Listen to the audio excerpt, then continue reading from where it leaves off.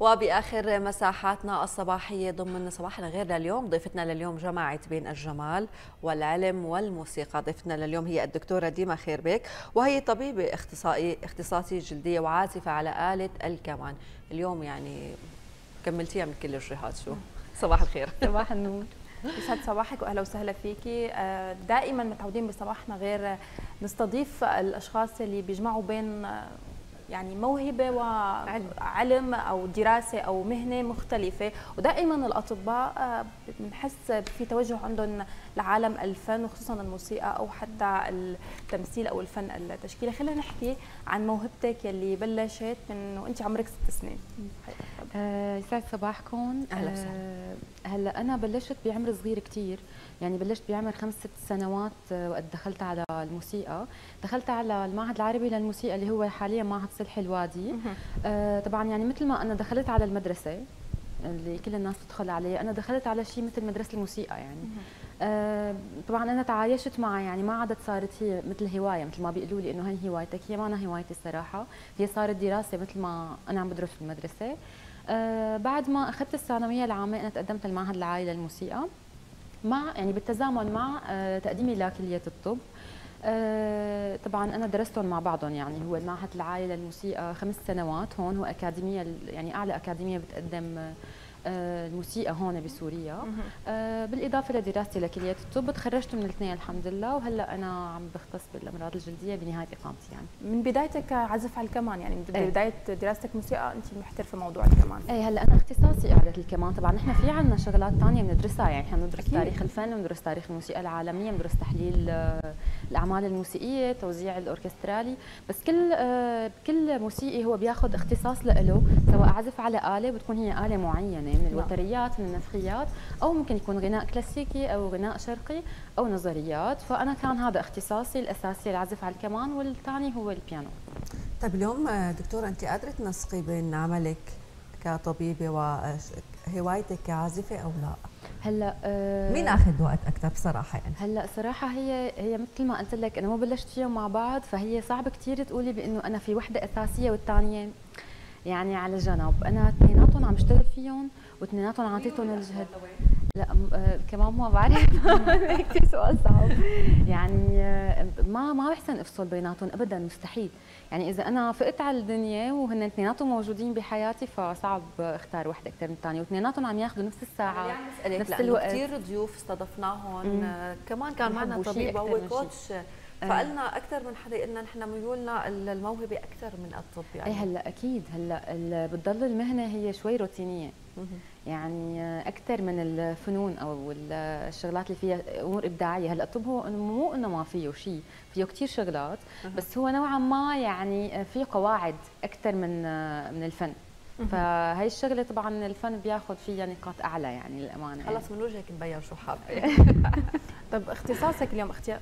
آه، اختيارك لاختصاص الجلدية له علاقة اليوم بانه أنت بتحبي العزف أو الكمان طبعا. شو الرابط بيناتهم؟ هلأ أنا اخترت هذا الاختصاص لأنه ال lifestyle تبعه بيناسب إني أنا ضل عم بشتغل بالموسيقى تمام؟ يعني أنا إذا اخترت اختصاص ثاني فأنا مناوباتي ما عاد تسمح لي طبيعة عملي ما بقى رح تسمح لي غير ضل أنا بس من الصبح للمساء وقد انطلب بالليل قد انطلب لأمور إسعافية. اما اختصاص جلديه هو ما وارد فيه هذا الشيء. فأنا اخترته لل lifestyle تبعه لحتى أنا أستمر بعملي كموسيقية. آه، ثاني شيء آه، هو بيحوي أكثر من شغلة يعني فيه شق تجميلي. فهذا الشيء إبداعي فيك تقولي نوعا ما. آه، فيه أمراض جلدية وفيه جراحة جلد. فهو فيه أكثر من side وبنفس الوقت بيسمح لي إني أنا أستمر بعملي الثاني. وفي شيء نفسي. يعني اليوم البشرة لحتى تكون مرتاحة. وانت مرتاحة بحاجة تسمعي موسيقى.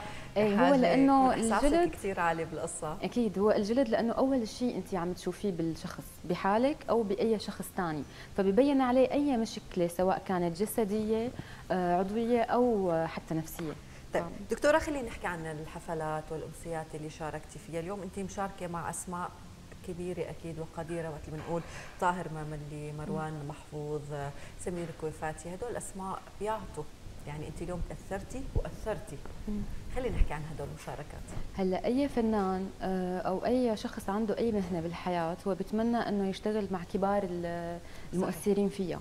فأنا كنت صراحة بعتبر حالي آه، يعني الحمد لله إنه كنت محظوظة إنه أنا قدرت آه، اطلع على المسارح مع آه، أسماء كبيرة مثل الأسماء اللي ذكرتيهم أساتذتنا كلياتهم سواء بسوريا أو خارج سوريا مع سوريين مع عرب مع أجانب من مختلف الدول.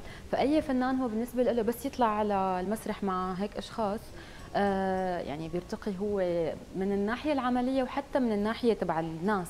يعني انت بس تشتغلي مع حدا مهم انت أكيد حدا مهم. طبعا. فعليا. طبعا لأنه ما بيختاروا غير الناس النخبة الجيدين لحتى يشتغلوا معهم. فهي النقاط كمان بترتفع عند الفنان يعني هي شغلة كثير مهمة. تحفز تحفزك إيه كثير تشتغلي على حالك آه فأنا بالنسبة لي بعتبر إنه هي من الشغلات اللي كثير مهمة كانت بحياتي وإن شاء الله يعني لسه لقدام نعمل شيء أكثر أكيد. من حفلاتك أيضا ومشاركاتك الخارجية آه، يلي صارت مؤخرا هي مشاركتك مع الفنان إياد ريماوي بإكسبو دبي. خلينا نحكي عن هي المشاركة وخصوصيتها. هلا الرابسودي آه، السوري اللي قدمناه نحن بإكسبو آه، رابسودي للناس اللي ما بتعرفها معناتها ملحمة. طبعا نحن أنا بالنسبة لي يعني إنه ينعمل هيك عمل ملحمه بعد 12 سنة من الأزمة نحن عندنا بسوريا هلا دائما الفنون هي يعني بتتربع على عرش الحضارة. يعني قبل الفنون هي طبعا آخر شيء. قبل الفن بيجي العلم يعني أقل بدرجة آه، قبل العلم تجي الحياة الحرفية. يعني المجتمعات بتتحضر بهذا السلم تمام؟ فنحن وقت اللي بنحكي إنه نحن عندنا 100 موسيقي سوري طلعوا على دبي بهذا الظرف آه، مغنيين وعازفين وقدموا هيك عمل ملحمي من تأليف موسيقي سوري آه، طبعا باسمه الكبير الأستاذ إياد. ف آه، وبحدث مثل إكسبو دبي يعني هو ملتقى لكل دول العالم. يعني كل الدول جاي تقدم أحسن ما عندها جاي تقدم الشيء اللي وصلت له لحد الآن وشو الشغلات وتطلعاتها للمستقبل. فان نحن نمثل سوريا بمثل هيك عمل ملحمي هو كان كثير إنجاز ضخم ما كان سهل ابدا. آه، ما كان آه، ببساطة إنه يعني نحن بعد كل هذا الظرف إنه نطلع نقدم هيك عمل كثير كبير. فيعني أنا كثير بفتخر فيه.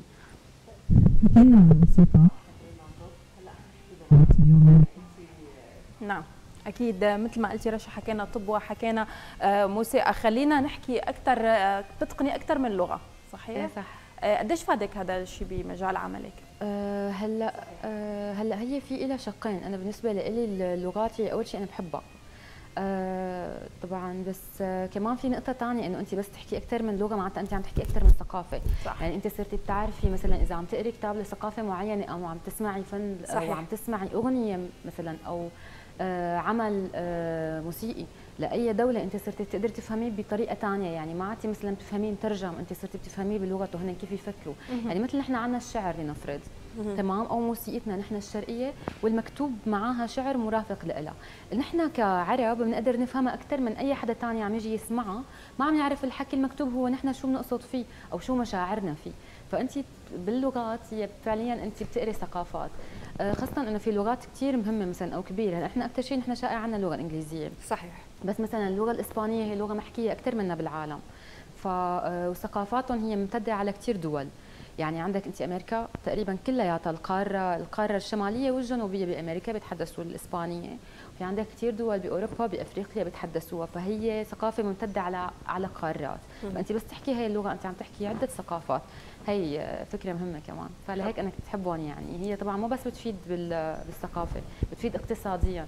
يعني الشخص اللي بيحسبها لبعدين انت بتفتح لك مجالات أكثر انت تشتغلي أكثر من شغل. إيه هي بالنهاية خبرات جديدة إيه، وثقافات جديدة. مجتمعات اليوم نحن قادرين نتعرف من خلال هاي اللغة على مجتمعات جديدة طبعا. بعيدا عن مجتمعنا. اليوم هيك كلمة أخيرة اليوم لكل صبية. عندها طموح مثل حضرتك. يعني اليوم نحن ما نضل كإعلاميين أو كطبيبة اليوم عندنا مواهب عندنا إبداعات باتجاهات ثانية نحن قادرين نشتغل عليها. شو بتحبي تقولي اليوم؟ هي كاميرتك أه هلا أه أنا بالنسبة لي أه طالما الشخص في عنده عمل وفي عنده طموح ثاني الشغلة بتصير لها علاقة بنوعية الجهد مو بكميته. يعني مو بعدد الساعات اللي بتقدمي فيها انت الشغل. بي بي ممكن تكون انت مثلا ناس معها 30 ساعة لتقدم هذا الشغل وفي ناس معها خمس ساعات. فانت الشغلة لها علاقة بكيف انت عم تبذلي جهدك؟ مو بكثرته آه، أكيد يعني هلأ أنا طالما لحقت أشتغل هذا الشيء معناته أكيد أي حدا هو ممكن يكون عنده قدرة مثلي وأكثر لحتى يدور ورا طموحه. بس هي أهم نقطة الفرص هي ما بتجي لعند الشخص هي بتجي قريبة منه. لازم حاول نلقطها يعني لازم ياخذ لازم يلقطها أكيد. وما في حدا ما بتجي فرص. الشغلة لها علاقة بنظرة الإنسان لنفسه. وبالشغلات اللي عم تصير حواليه. إنه أنا آه إنه لا أنا مثلا بلا حظ وأنا فلان هو عم ينجح لأنه هو كنا عم نحكي بموضوع الطاقة بالفقره اللي آه قبل يعني. هي كثير الناس على فكرة بتصير عندها إنه أنا ما عندي حظ وإنه أنا فلان محظوظ أكثر مني لهيك هو عم ينجح. لا صراحة هي الشغلة علاقة بنظرتك للموضوع. بجوز تكون أنت عم تجي لعندك الفرص بس أنت ما بتعرف إنه هي فرص. فأنت هذه الفرص المناسبة ونوعية الجهد اللي عم نبذله هي أهم شيء للشخص اللي حابب يحقق نجاحات كبيرة. ولو سريعا عندك سفرة عم تتحضري إلى الجزائر للمشاركة بالمهرجان الموسيقى خلينا نحكي عنها. إيه نحن بعد يومين إن شاء الله طالعين على الجزائر في المهرجان الدولي للموسيقى السيمفونية رح نشارك فيه رح نمثل سوريا. آه طبعا في مجموعة كبيرة من الدول رح تكون مشاركة من كل دول العالم. آه فبنتمنى يعني نحن بس آه نعرض الشيء اللي نحن طالعين نقدمه إنه يكون على مستوى حلو. إن شاء الله كل التوفيق نتمنى لك أكيد التوفيق ونحن اليوم فخورين بكل شخص وكل نشاط سوري خارج البلد. شكرا لحضورك وشكرا للجمال والطاقة الحلوة اللي أعطيتينا إياها. أهلا وسهلا بحضرتك. الطبيبة وعازفة الكمان ديما خيربك شكرا لوجودك معنا لليوم. شكرا. أهلا وسهلا.